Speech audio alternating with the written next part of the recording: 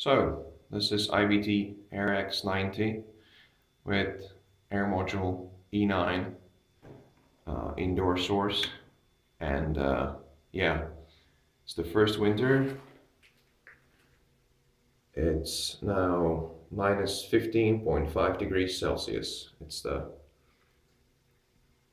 first winter with such freezing weather and uh, yeah it's been running the whole night.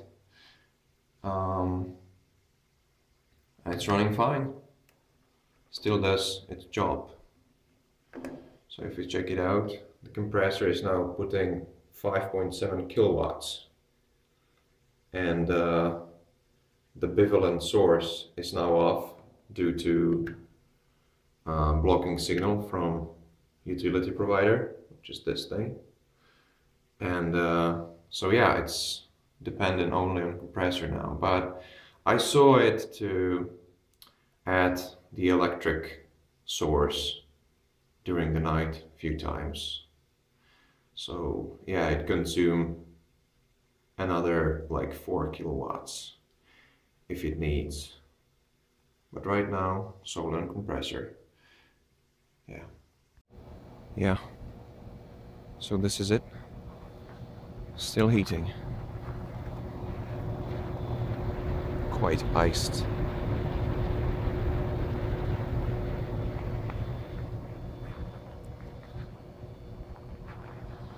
I think the back is iced as hell.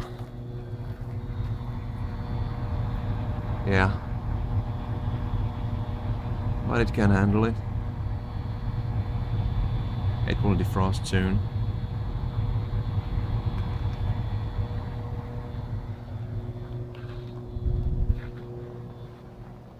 So still running.